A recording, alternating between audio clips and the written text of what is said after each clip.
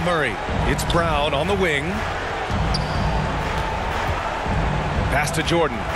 Here's Caldwell Pope. From downtown. And after missing his first three shots, he drains it. One for four. And just all alone down there. Credit goes to DeAndre for finding him. That's a nice pass. Outside Walker. To the paint.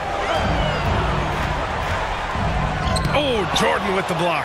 And he recovers it. They retain possession. And the shot's good. And why go away from attacking inside if the D has no answer for you? Pass to Caldwell Pope. Brown with it. Outside Murray.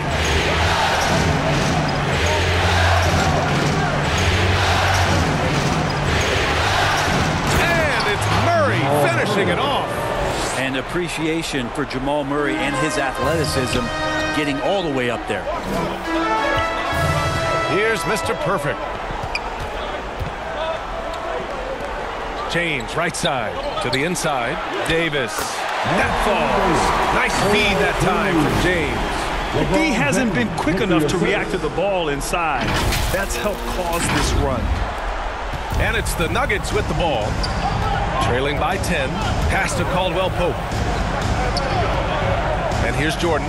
And here's Brown. Walker covering.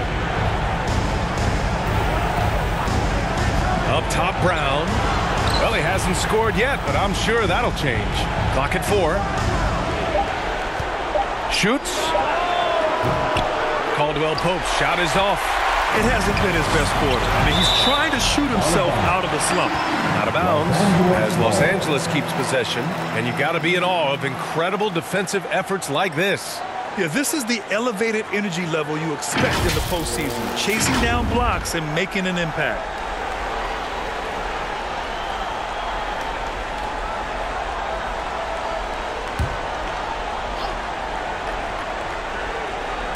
On the wing, Davis. Outside, Walker.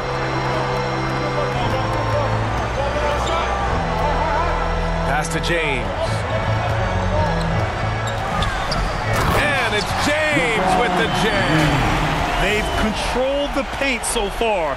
That's been the difference. Yeah, the bully ball tonight has paid dividends. Highly effective down there with the physical play. And so here is Denver. The Lakers getting their last shot to go. Outside, Brown.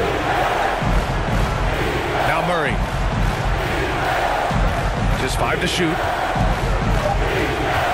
The Nuggets need to get one up. No good with the triple. And his struggles have been apparent. Unable to make an impact scoring the ball. Pass to Mr. Perfect.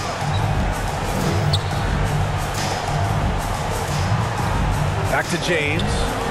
And slam dunk by James. They've shown so much energy right from the start, particularly on the offensive end. Yeah, if you walked in at any point during this game to watch five minutes of play, one team played harder. You know who that was. Now a timeout called by Denver. You got to like what we're seeing from LeBron James. And the defense has not provided any threat to stop him out there, so it should come to no surprise.